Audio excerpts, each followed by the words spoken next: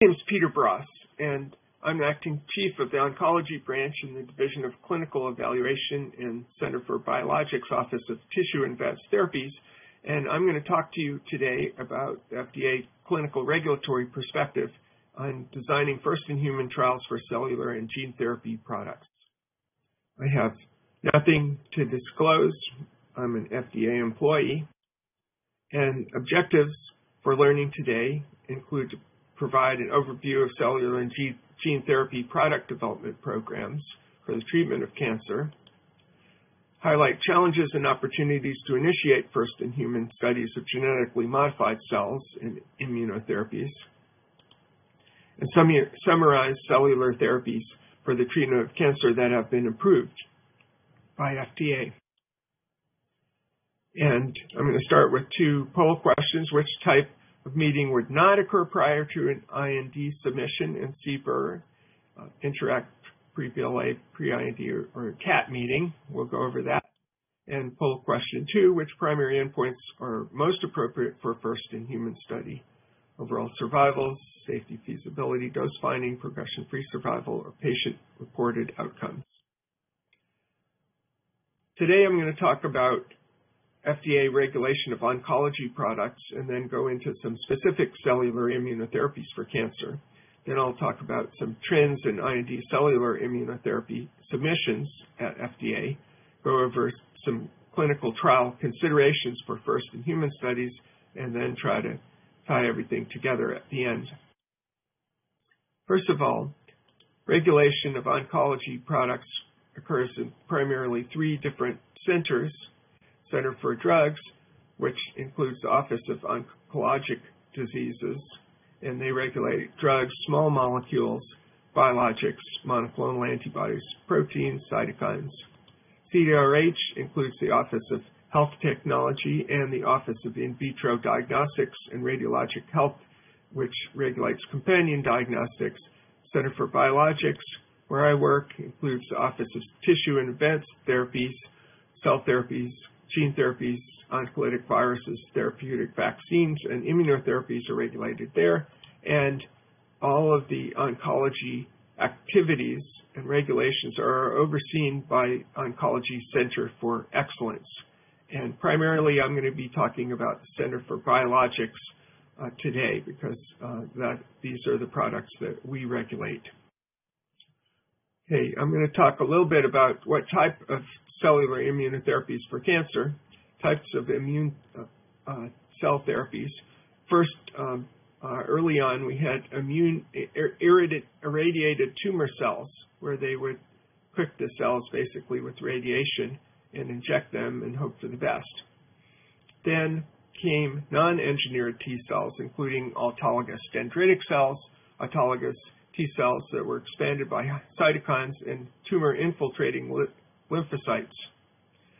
Hematopoietic stem cells also are considered immune cell therapies and um, are associated with uh, transplant, either myeloablative or non-myeloablative transplant. Engineered T cells came along, and these uh, include engineered T cell receptor cells, uh, chimeric antigen receptor cells, chimeric autoantibody receptor cells, and CAR regulatory T cells and CAR expressing natural killer cells. More recently, we've seen an influx of edited T cells, either autologous or allogeneic, uh, edited by either TALEN or zinc finger nuclease or CRISPR-Cas9. And more recently, we've seen an influx of allogeneic haploidentical natural killer cells and other allogeneic products. And these are some illustrations of how these products are manufactured.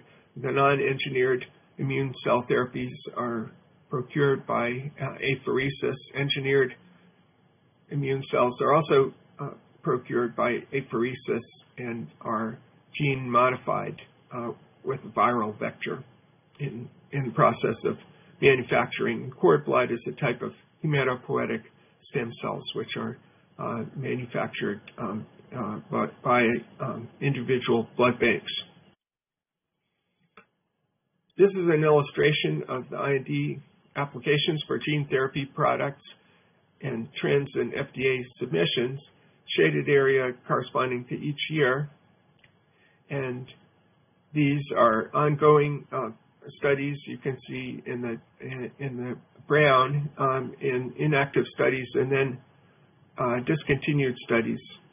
And you can see that uh, ongoing studies have increased substantially in the past 10 years.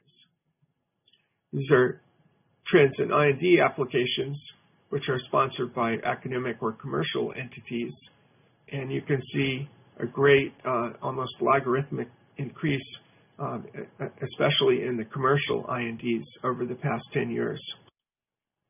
The majority of IND applications are in solid cancers and hematologic malignancies,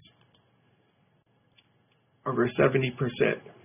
And uh, this pie chart does not include information from uh, after the uh, coronavirus uh, epidemic because um, uh, in the past year we've seen a lot of applications for cell therapies, non-engineered cell, cell therapies for coronaviruses.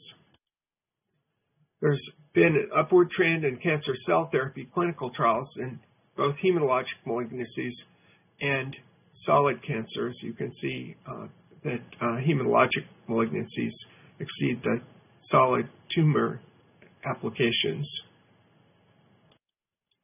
And among cancer cell therapy trials, CAR T cells are the most frequent therapy type, and phase 1, 2 are the most frequent trial phase. Most frequent target is CD19 of the hematologic uh, indications being studied. And in solid tumors, uh, there are uh, a number of different targets, uh, various tumor-associated anti antibodies, um, antigens, um, HER2, GD2, and this illustrates some of the other specific ones. What is not uh, illustrated here are the uh, neoantigen targets and personalized medicine, which is also has been one of the more common types of uh, applications we've seen. So, considerations for designing first-in-human cellular and gene therapy studies. For cellular therapies, we're concerned with the possibility of secondary tumor for, uh, formation and migration to non-target sites and off-target toxicities.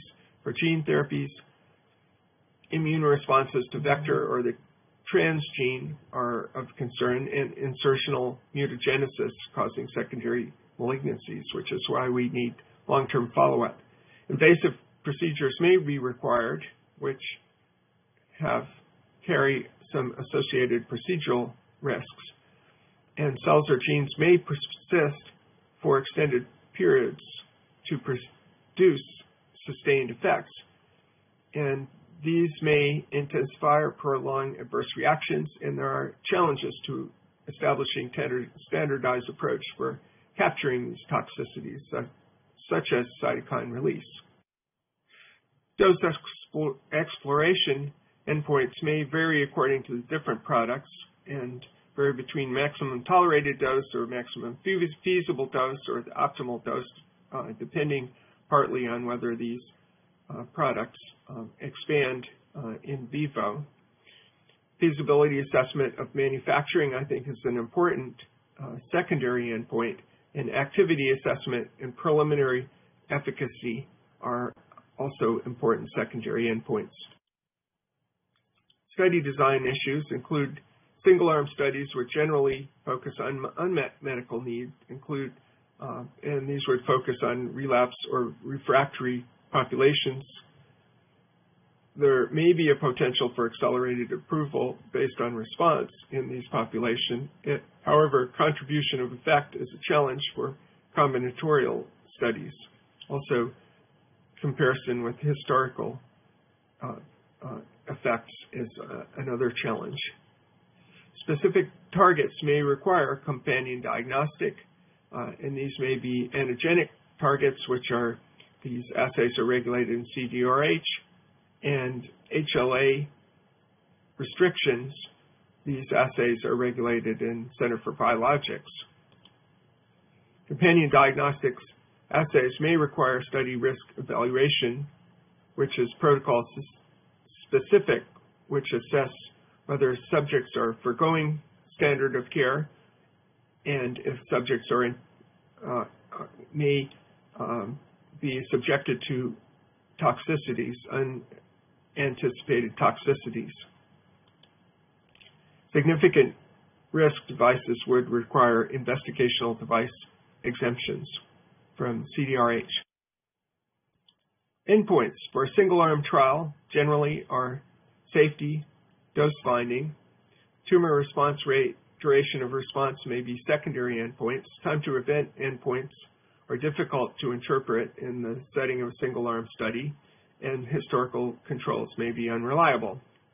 Randomized control trials are generally appropriate for later stage development. Time to event analyses, including overall survival and progression-free survival, are the most common in randomized control trials. The appropriate control is required and should be discussed with FDA prior to study initiation, and it may not be feasible for certain products in a refractory population to do a randomized controlled trial. And all these issues should be discussed with FDA after you get preliminary clinical information. And we also have to consider potential confounding of concurrent treatments such as lymphodepletion or the addition of checkpoint inhibitors. Dosing. Starting dose for first-in-human studies should be based on preclinical toxicology data informed by prior human experience with a similar construct. The doses should be based on transduced cells per weight rather than total cells generally.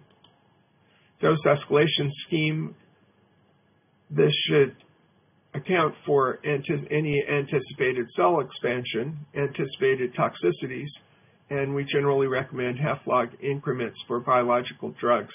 These typically employ a 3 by 3 design. However, other designs such as continual reassessment may be considered, and Bayesian adaptive designs have been used successfully. Intrapatient dose escalation is not recommended and we do recommend staggering of treatment between subjects and dose cohorts.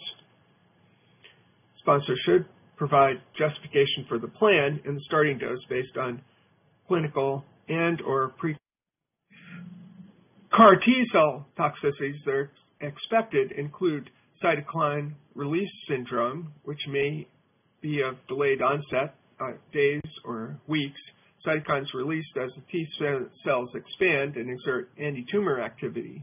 And these may be associated with elevated cytokines and uh, certain clinical signs, including uh, uh, fever and um, hypotension.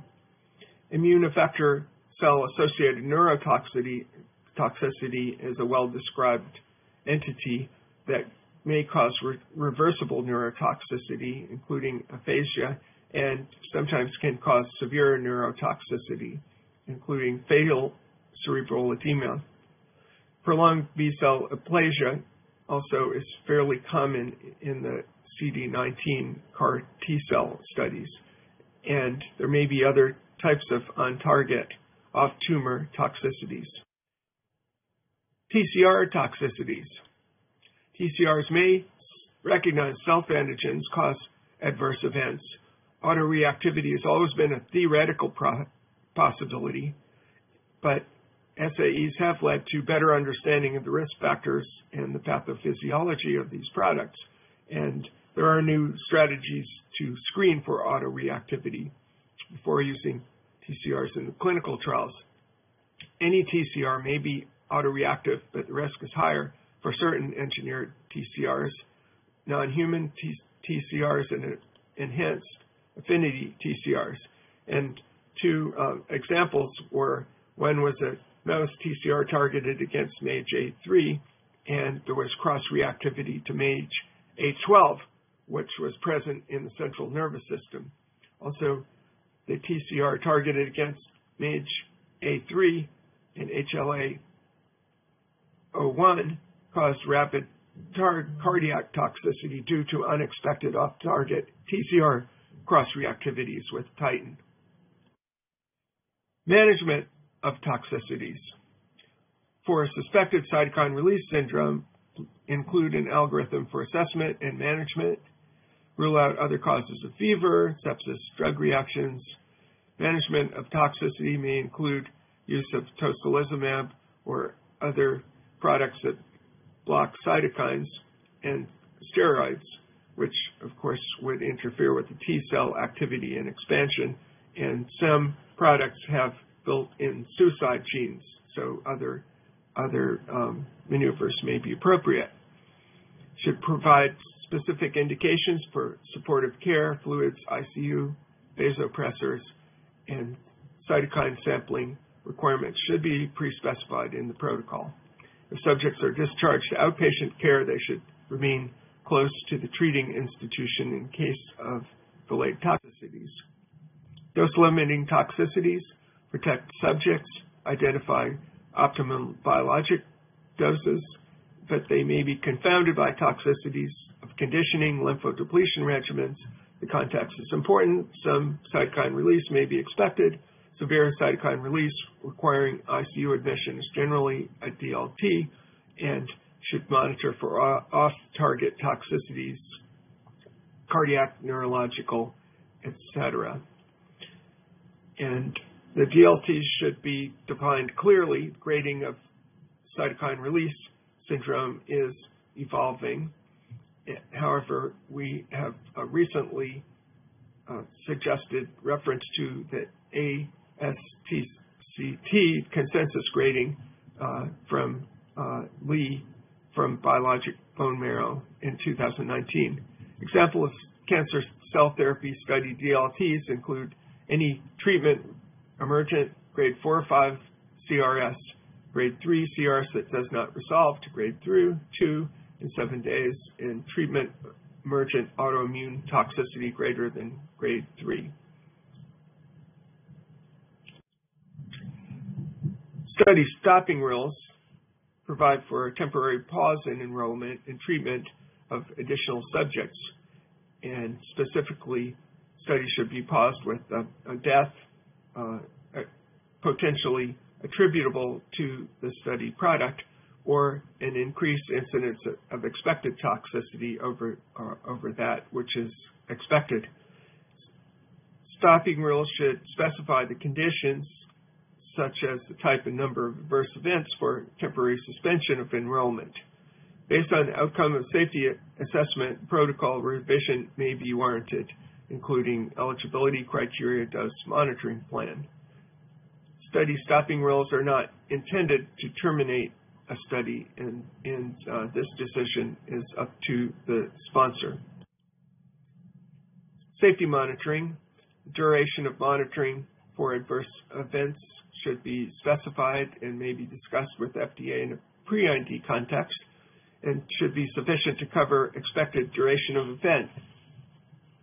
And safety monitoring may depend on information from preclinical studies and experience with related products. Long-term follow-up may be required for certain cellular and gene therapy products. There is a guidance cited below. 15 years of follow-up for integrating viral vector-based products. Clinical development can continue while the long-term follow-up is ongoing. So I'm going to talk a little bit about FDA review, which involves multidisciplinary uh, input the uh, clinical review is informed by the pharm tox reviewers and product reviewers, which are most commonly involved in early phase studies. And we sometimes include clinical pharm input, and for later stage studies, uh, statistical reviewers are involved. When to approach FDA for product development discussions. In the preclinical period, the Center for Biologics and OTAT have, uh, pre, in addition to the pre-IND meeting, we have two other methods to provide uh, uh, help to sponsors which include the interact meetings, which used to be called pre-pre-IND meetings, which are informal meetings to discuss primarily preclinical studies required and the uh, product uh, manufacturing issues. And there is also a CBER Advanced Technologies team, and we have provided uh, information how to get uh, um, these um, uh, meetings. Then um, after the IND is submitted, we have uh, opportunities of end of phase one meeting and end of phase two meeting, and then uh, uh, assuming that the product is going to be submitted for licensure, there's pre-BLA meetings and other meetings uh, um, along the review cycle. And we'll say that the Oncology Center of Excellence input is uh, provided uh, at uh, all stages of uh, development from the pre-IND meeting to the BLA uh, review, uh, but not for the interact meetings generally. This slide summarizes the cell therapies that have been approved for treatment of cancer. Provenge was approved in 2010 for treatment of prostate cancer. Then we had several of the gene-modified CAR T cells uh, that have been approved for uh, hematologic malignancies, including Kymriah, Yescarta, Tecartus, uh, and Breyanzi, which have been uh, approved over the past few years. In summary, gene-modified T cells show promise in cancer therapy especially chimeric antigen uh, CAR T cells and TCR modified cells. Products are move, moving rapidly from the lab to the clinic. Toxicity is a concern. These products are complicated and many subcomponents, and also these are autologous cells, so each each lot is in effect its own uh, separate product. And regulatory advice is available from CBER, OTAT, including pre-IND meetings, interact meetings, advanced therapies team, and uh, the various IND meetings, end of phase two, pre-BLA. So, poll question one, which type of meeting would not occur prior to IND submission? Interact meeting, pre-BLA, pre-IND, CAT. Answer is pre-BLA because uh, obviously that's much later in clinical development. Poll question two, which primary endpoints are appropriate for a first-in-human study? Overall survival, safety, feasibility, progression-free survival. Answer is safety, feasibility, dose finding.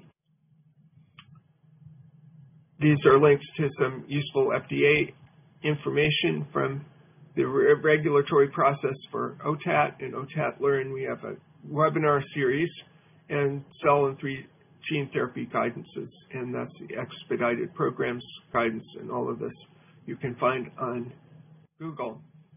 And I'd like to thank my uh, team in CBER, and uh, this is a picture of the uh, FDA campus uh, at dusk to remind everybody that our work does not end when the sun goes down. And this is contact information for me regulatory questions, and uh, the CBER website. So thank you very much. But they may have more uh, efficacy and, and, potency. And so uh, uh, there is not a big difference in terms of uh, clinical um, evaluation, safety evaluation of the different generations. I hope that answers the questions. Um, then the next question was uh, cytokine risk uh, requires hospitalization uh, and would um, a certain level of cytokine risk um, allow outpatient administration. And I think one of the issues is that the cytokine risk may occur a week or 10 days following administration of CAR T product. So whether this is inpatient or outpatient, I think would depend on the experience of the particular center. Uh, but uh, so uh, many of the CAR T studies are done as uh, outpatient, but the uh, patients have to stay close to the center uh, in case of trouble. Then um, the next question I see uh, has to do with the contribution of component evidence uh, required. Um, and, so this is uh, an, interesting question. Um, so for an add-on study of um, various biologics, it is easier to proceed with development of a, say, checkpoint inhibitor that is approved in a specific indication. in other words, if you use a checkpoint inhibitor like pembrolizumab or nivolumab for um, melanoma and you have a product that is going to enhance the checkpoint inhibitor, it is simpler to proceed with the checkpoint inhibitor that is already approved in melanoma. Um, but uh, you need to discuss these uh, with uh, FDA. And um, conversions, body weight, or body surface area. Uh, I don't think that we care whether it's uh, body weight or body surface area, but that does bring up an issue having to do with the uh, uh, the, the, calculation of dose of the CAR T, and we do uh, want um, sponsors to calculate the dose based on transduced cells, not that, rather than um, overall uh, cell dose, because the transduction efficiency can vary between 10% and say 60, 70%, and so um, it doesn't make any sense just to dose based on, on cell dose, but you can dose based on body surface area or uh, uh, weight. And um, are we still required 15-year follow-up? Um, I think that needs to be just discussed on a, on a uh, case-by-case uh, basis, but that's correct. NK cells uh, do not um, do not persist. So if a uh, product does not persist, then you don't need to to uh, do the 15 cell uh, year follow-up. But uh, some of the NK cells are transduced with um, gene modified um, trans, transduced NK cells. So in that case, you would have to do the 15 year follow-up. Um, and then the question of the CAT meeting, does it proceed? CAT meeting is very early in um, clinical development so um, the uh, CAT meeting may uh, proceed interact meeting, uh, but the CAT meeting is usually a manufacturing uh, uh, meeting, and uh, I think I provided the information how to get that. Um, but I would like to say that the interact meetings tend and CAT meetings tend to be non-clinical and discussion of preclinical issues and manufacturing issues, and there's usually relatively little uh, uh, clinical information, so a, a, brief clinical synopsis is adequate. Uh, whereas I would like to say for the pre-IND meeting uh, that the sponsors are missing an opportunity if you don't provide at least a good, um, uh, robust uh, clinical protocol synopsis um, in the um, pre-IND meeting. And um, so on, can I uh, discuss the role of the Oncology Center of Excellence in more detail? Are the real-time oncology reviews for products in CBER? Uh, that is a really interesting question. Um, the Oncology Center for Excellence, we work very closely uh, with um, uh, Jeff and his colleagues in Oncology Center for Excellence, and we discuss any licensure trial um, and um, uh, BLA uh, review with uh, uh, reviewers in Oncology Center for Excellence, and and there's always an OCE reviewer on on any BLA uh, review team, um, and also um, to discuss protocols for for um, licensure submission. Um, we have not yet adopted the real-time oncology review um, in uh, CBER, there's, it's more um, complex with the requirement for um, uh, product in, inspection. And so uh, thus far, uh, we don't think that the real-time oncology review is necessarily going, going to speed things along. Um, the inspection uh, issues are, are, fairly complicated. And I don't know if I have more time because I don't seem to have audio. Um, but if I did have more time, eight minutes. Oh, okay. Then um, I can go to the issue of um, what are the common pitfalls that could result in INDs uh, going on hold. And uh, one of the uh, issues I think is um, uh, not requesting a pre-IND meeting. I think uh, that uh, sponsors ought to take advantage of what we currently um, is um, free advice that we um, provide, whereas in Europe, I think they charge a fair amount for um, scientific advice here uh, in the good old USA, uh, we are providing free advice, pre-IND uh, advice, the various um, end of phase one, end of phase two advice, special protocol assessment, and so forth. So it's free advice, and I think sponsors ought to take advantage of it. And I do think that sponsors miss an opportunity for uh, interaction when you do not um, um, submit a, uh, pro, a fairly detailed protocol uh, with the uh, pre-IND uh, submission.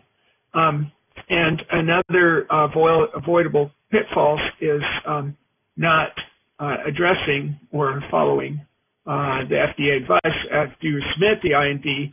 We would assume that you would follow our advice, and we find that many times um, sponsors do not follow our advice. And that's okay. The pre-IND meeting is not, it's not binding. Um, however, it would be helpful if you don't want to follow our advice that you provide documentation and justification for why you're not following our advice because sometimes we see a, a, a submission with our pre-IND notes and then the um, uh, submission and protocol has very little to do with what we suggested and so we're left scratching our heads. Um, you know, uh, what are you guys thinking? So um, many sponsors will submit a fairly detailed uh, uh, point-by-point uh, response to the pre-IND um, comments and suggestions that FDA made. And then that's very helpful for review, and we may or may not um, agree, but at least we know what you are thinking. And um, companion diagnostics are uh, reviewed in, um, this was an, another uh, question, um, and I touched on this briefly, uh, how are companion diagnostics reviewed and what is a study risk determination? And I think I touched on that uh, briefly, but basically uh, the companion diagnostics are uh, assays that are required for safe and effective use of a particular product. The classic one is, of course, HER2 and Herceptin and all the HER2 uh, directed uh, products. But now we have a number of products in uh, CBER, the uh, TCR um, directed therapies that have a number of different um, antigens that are the targets of these products, and um, including MAGE-A3, MAGE-A4, NY-ESO, um, and other uh, targets. I think one of my slides had a whole uh,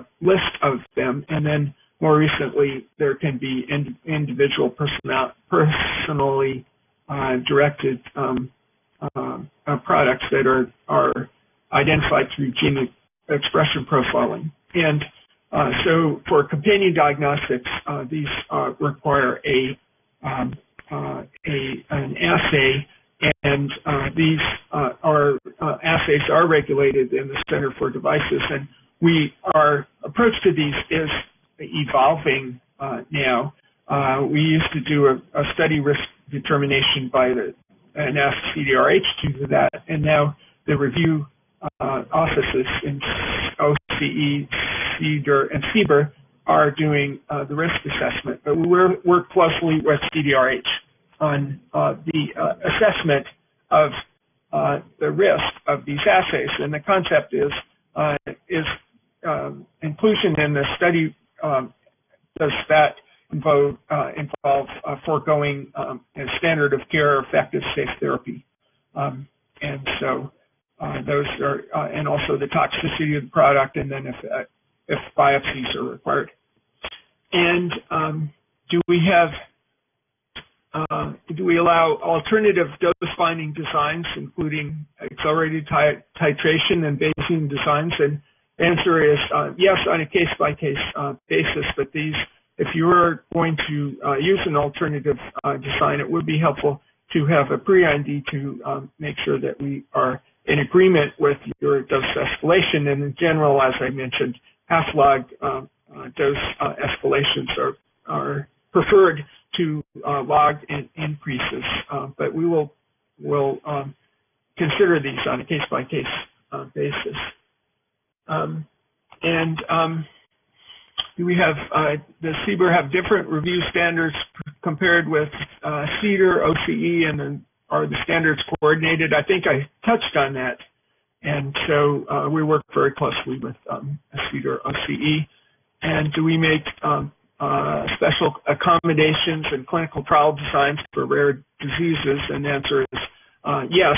And in uh, selected instances, we will um, uh, allow a much uh, smaller study um, in coordination with experts in a particular disease. And so we try to work with the um, disease advocates as well as our colleagues uh, and OCE in order to uh, come up with a reasonable design to try to address uh, unmet med- medical needs of rare diseases.